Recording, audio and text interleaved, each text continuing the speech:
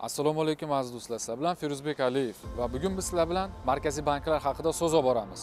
Do'stlar jahon moliya bozorlarining eng katta yirik ishtirokchilari bu markaziy banklar hisoblanadi. Dunyoda uchta eng kuchli va tanilgan markaziy banklari bor.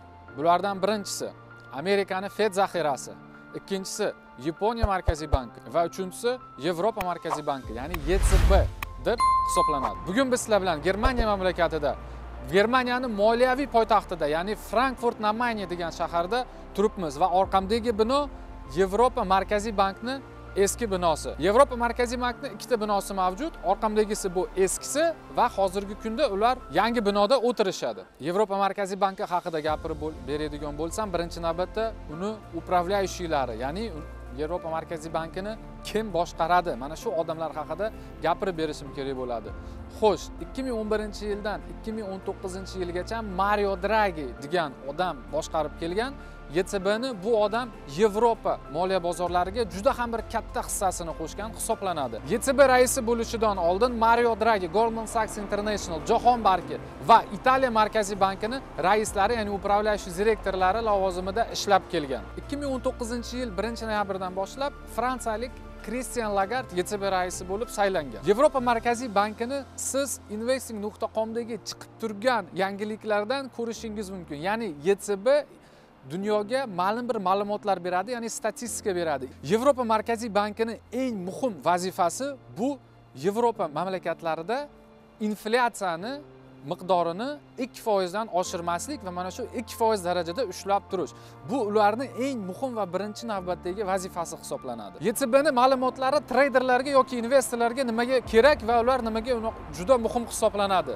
Chunki ytb inflyatsiya haqida ma'lumot berganda bozorlar bu narsaga ma'lum ma'lum bir ravishda reaksiya ko'rsatadi.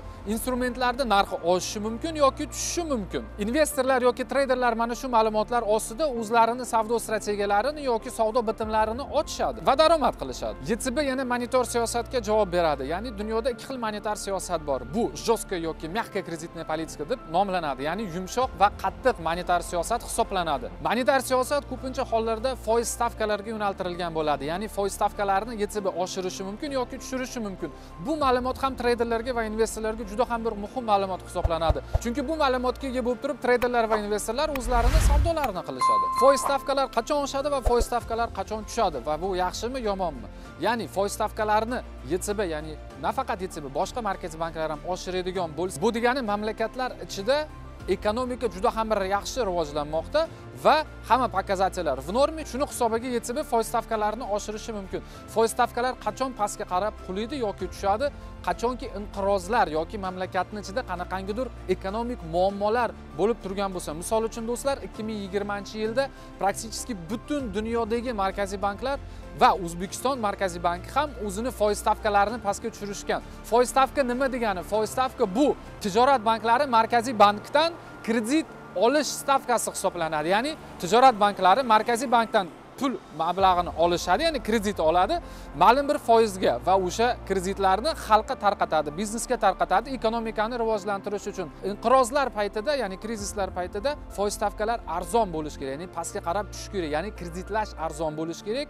Xalqni ekonomikani ytsb qo'zg'artib yuborishi kerak ya'ni pastdan yuqoriga qarab ko'tartirib yuborish kerak bo'ladi. Mana shu paytda foiz stavkalar past bo'ladi. Inqirozdan chiqib bo'lgandan keyin ycb foiz stavkalarini oshirishni boshlaydi. Chunki уже kichkina foiz stavkalar shart emas. Ekonomika oyoqqa turib bo'ldi mamlakat oyoqqa turib bo'ldi va sekin foiz stavkalarini oshirsa bo'ladi. Treyderlar yangiliklarni ekonomik taqvimda ya'ni iqtisodiy taqvimlarda ko'rib nazorat qilishadi. Mana shu iqtisodiy taqvimlarda agar ycb tarafdan foiz stavkalar tushdi ya'ni yoki ko'tarildi deydigan ma'lumotlar chiqadigan bo'lsa treyderlar mana shu yangiliklar asosida savdo qilishadi. Iqtisodiy taqvimda foiz stavkalaridan tashqari ycb tarafdan beriladigan boshqa ma'lumot bu inflyatsiyaga yo'naltirilgan ya'ni inflyatsiya pastga qarab tushdi yoki inflyatsiya ko'tarildi. Mana shu yangiliklar ham treyderlar va investorlar uchun juda ham bir muhim bo'ladi. Ular o'zlarini savdo strategiyalarini mana shu yangilikka to'g'irlab bozorlarda daromad qilib olishlari mumkin. Do'stlar ycb haqida ya'ni yevropa markaziy banki haqida man sizlarga juda ham bir qiziq ma'lumotlar berib o'tdim deb o'ylayman. Video qisqa bo'lsa ham man harakat qildimki hamma ma'lumotlarni qisqa va lo'nda sizlarga tushuntirib berishga. Agar bu videomiz sizga ma'qul bo'lgan bo'lsa layk bosing va kommentariyalarda yozib qoldiring. Siz qaysi markaziy banklar haqida yana qo'shimcha ma'lumotga ega bo'lmoqchisiz va undan tashqari qanaqangi videolar kutib bormoqdasiz? Mana shu o'sha videolarni sizlarga yozib berishga harakat qilaman. Do'stlar rahmat va salomat bo'ling.